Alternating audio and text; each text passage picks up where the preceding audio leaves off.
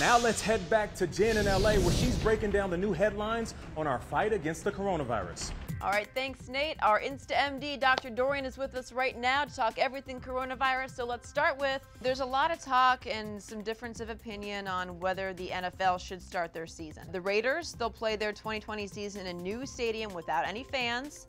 The Denver Broncos, they've installed a special misting booth at the team facility, which effectively sprays disinfectant on players in the hope of killing the coronavirus. Can you disinfect people that way? Well, you're disinfecting surfaces, and it's it, it, could create a false sense of security, saying, Yeah. hey, I'm clean.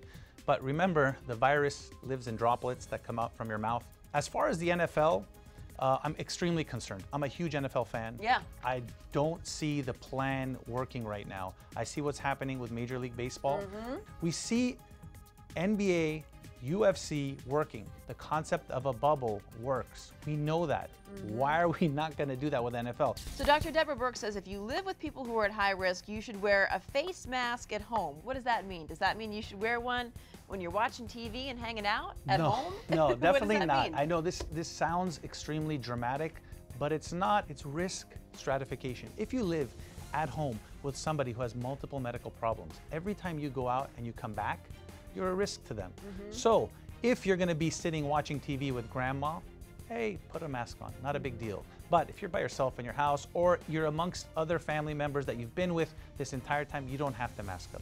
Speaking of masks, I do see a lot of people using these gaiter masks, the cloth masks that, you know, kind of cover your face and your neck. Yeah. Are those as effective as the, the masks that just go over your chin and your nose? So some of these gaiter masks are one ply, they're Yeah. thin. Um, those don't work. At a minimum, they have to be two ply. So when you see people instructing mask wear, you have to have at a minimum it folded or I would say three ply. You have to It's like base it, toilet paper. The more ply, the better, I guess. it, it to a point because at some point you've got to be able to breathe. Yeah.